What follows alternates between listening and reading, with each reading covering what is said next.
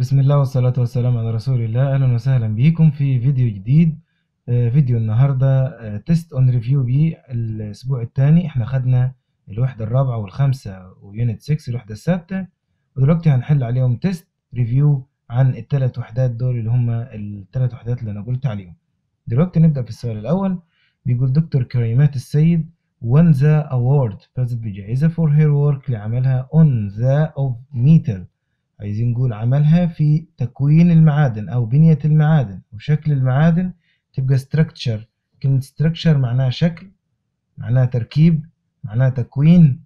خلاص؟ لكن طبعا باقي المعاني لا تؤدي الغرض نمبر 2 دكتور السيد اللي هي نفس الشخص في الأول هي دكتور كريمات السيد is in the world of science في عالم العلوم. يبقى هي special خاصة. فاش أقول general ولا أقول عليها public ولا حتى private برضه number 3 دكتور السيد was a scientist. على فكرة هنا مكتوب scientist مش science. تمام؟ و scientist هنا ده اسم والاسم محتاج قدامه لصفة توصفه فهتبقى enthusiastic. لكل الناس اللي بتقول إني enthusiastic لازم بيجي وراها about. بيجي وراها about لما يجيب وراها الحاجة اللي هو بيتكلم عنها. أقول was enthusiastic about science. لكن مكتوب scientist عالمة. خلاص كده؟ ممكن آخد enthusiast لو كان كاتب ال science مش scientist science كان كاتبها هنا. قال دكتور سيد was a science enthusiast زي خدنا سؤال في ال practice قلنا football enthusiast يعني شخص متحمس لرياضة كرة القدم أو شغوف بيه. يبقى خلي بالك ده اسم هنا scientist مش science. طيب number four دكتور السيد has spent much of her life قضت الكثير من حياتها other women. To become scientist يبقى encouraging تشجع ليه بقى عشان هنا جايب to طب أنا ممكن أقول urging أقول urging for argue with prevent يبقى prevent from يبقى أنا عندي encourage خدتها لأن لوجود هنا إيه لوجود to number 5 when you a woman you do a very good job for society انت تؤدي عملا جيدا للمجتمع يبقى عندما تعلم أو تربي امرأة يبقى educate number 6 دكتور السيد admired افتخرت أو كانت معجبة به the of the women scientist العالمة اللي هي ماري كوري كانت معجبة باكتشافات. اكتشافات ماري كوري يبقى نقول discoveries معناها اكتشافات. number 7 when she read about كوري لما قرأت عن ماري كوري she decided decided بيجي وراها to المصدر فمعظم الناس هتقول لك she decided to طب ما فيش هنا مصدر. خلاص كده؟ لكن بعد النقط هنا موجود عندي فاعل وفعل يعني جملة كاملة يبقى أقول decided that.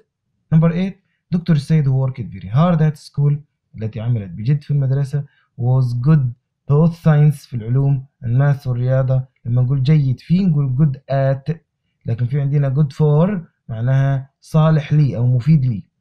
Number 9 in the past في الماضي it wasn't. وعايزين صفة؟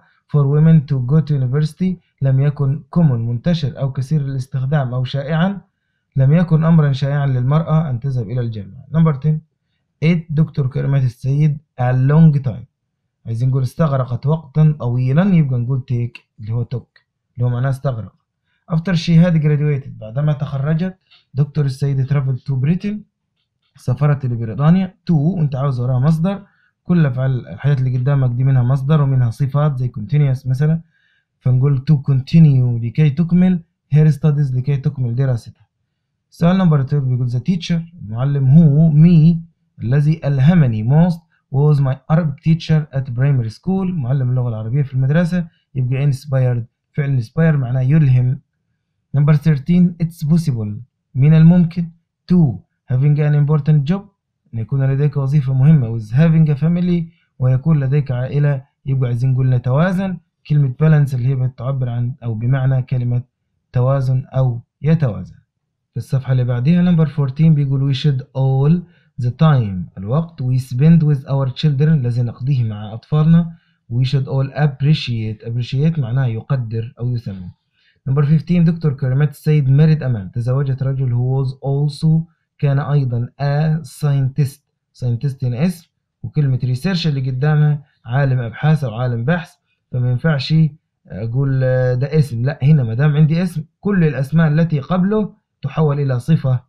نقول عالم إيه؟ عالم بحثي. number 16 primary school المدرسة الابتدائية was a place كانت مكان. I first learned English وهنا جايب المكان ده وجايب الوظيفة بتاعته اللي بيقول تعلمت فيه اللغة الإنجليزية. أي مكان وراه الوظيفة بتاعته بناخد فيه where لكن لو كان مكانه بنوصف المكان ده بناخد فيه which نمبر 17 there are two pens يوجد two خلي بالك بيقول two اثنين يعني. there are two pens في قلمين on the desk أول ما يقول اثنين يبقى أنت على طول هتيجي على كلمة إيه؟ both. وأنا بنتقد جدا يعني ومش بيعجبني خالص حتة إن إحنا نعلم الطلاب في الدرس ده في الدرس ده. إن هم عندهم مجموعة حاجات. أول ما بيشوفوها بياخدوا كذا يعني أنا مثلا من الفيديوهات الغريبة اللي شفتها واحد بيقول أول ما تشوف الكلام على اثنين تاخد both طب ما هنا الكلام أهو كاتب two. واضحة جدا. طب ما أنا أقول bo... يا سيدي أول كلمة المفروض تتقال في الدرس ده أو أي طالب حابب يفهم الدرس بتاع ال unit 5 ده اللي هو بتاع بوث ونيزر وإيزر وأول وإيفري وإيتش لازم نقول له رقم واحد تعتمد على الترجمة. ترجم الأول كويس بعدين تبقى تاخد على القواعد اللي إحنا بنديها لك. خلاص؟ فما ينفعش الطالب يحفظ حاجات كده على طول مباشرة تمام؟ الدرس ده طبعا بالنسبة لبعض الطلبة صعب جدا لكن والله العظيم بص يعني أنا هحط لك في الرابط هنا دلوقتي الفيديو دلوقتي عشان تتفرج على الفيديو بتاع الوحدة الخامسة. وشوف الشرح وشوف التلخيص بتاعه وإن شاء الله هتحس إن أنت بتحل زي الفل بإذن الله. طيب. السؤال نرجع له تاني بيقول there are two pens يوجد قلمين. فمش لازم أقول both. لازم أكمل القراية. إيه قال هنا؟ but. ولكن of them is mine. يعني أقول في قلمين على على على المكتب. ولكن كلاهما بتوعي. طب ليه كلا ولكن. ليه كلمة ولكن ليه؟ طب ما أنت كان قلت both of them is mine. في قلمين على المكتب هما الاثنين بتوعي. إيه لازمة كلمة ولكن؟ كلمة ولكن عشان تقول لك إنه في تناقض ورا. في قلمين لكن ولا واحد فيهم بتاعي يبقى نقول كلمة إيه؟ كلمة neither مش بس نشوف كلمة two نروح نجري على على both. تمام يا حبايبي؟ خلوا بالكم في الامتحان.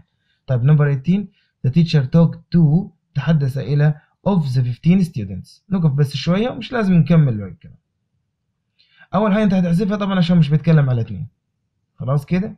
اللي هي كلمة إيه؟ اللي هي كلمة both. either تجي في نفي.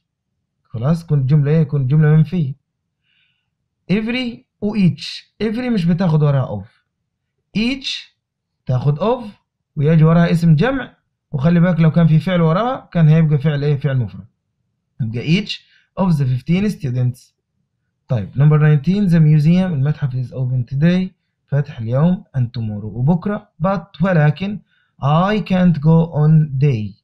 هنا عندي كلمة can't منفية. وطالما عندك نفي يبقى تاخد إيذر. اوعى تقول نيذر. نيذر ده لما تكون جملة مثبتة زي الجملة اللي فوق اللي رقم 17 هذه جملة مثبتة اهي واخدنا فيها كلمتين اخدنا فيها نيذر. لكن لما جينا هنا في رقم 19 وصلنا الجمله منفية فيها كانت فاخدنا إيذر.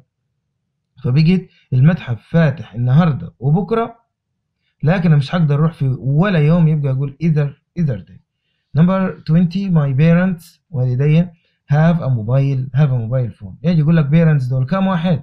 اثنين. جميل. ما هو اثنين تاخد both كلاهما معاه موبايل يا حبيبي لو عايز تقول both تقول both my parents تبدا الكلام كده تقول both my parents both of my parents. لكن تقول my parents both ما تنفعش. زائد في حتة تاني. لو انت قلت my parents both كلاهما a موبايل فون معاهم موبايل يبقى هما الاتنين بيمتلكوا موبايل واحد. لكن عايزين نقول كل واحد فيهم معاه موبايل يبقى نقول each. تمام؟ My parents each. طب لما هي كل. طب ليه انت ما قلتش every my parents دول اتنين و each بتدل على اتنين أو أكثر. لكن every بتدل على أكتر من اتنين. طيب نمبر 21 my father runs in the park.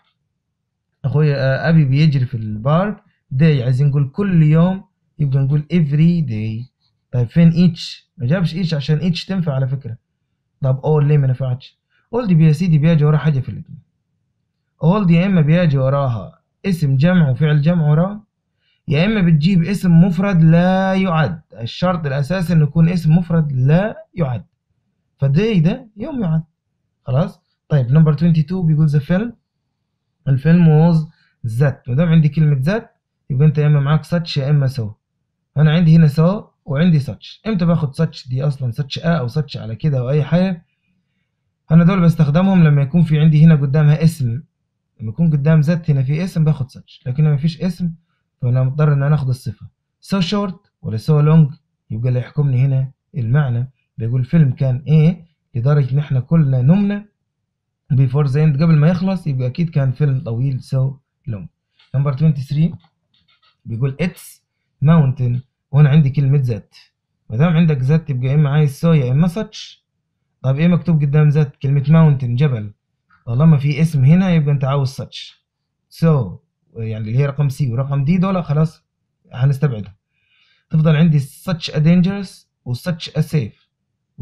كده بيختلفوا في المعنى اضطر إن أنا لازم أترجم الجملة. بيقول it's mountain إنه جبل إيه؟ That nobody has been to the top of it. محدش قدر يصعد للقمة بتاعته. يبقى it's such a dangerous number 24 the toy is وأنا عندي كلمة to والمصدر هنا لما يكون عندي to والمصدر يا جماعة لازم اخد يا إما too اللي هي باتنين أو يا إما اخد كلمة enough تمام؟ أنا عندي too أهو. لكن دور كده على enough مفيش enough فاخدنا too big. أصبحت اللعبة تكون كبيرة جدا لدرجة إني مش قادر أحطها يعني في الإيه؟ في ال box.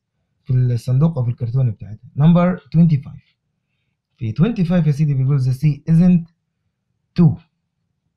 ما دام عندي two ووراها المصدر يبقى أنا عايز two اللي هي باتنين أو يا إما عاوز كلمة enough.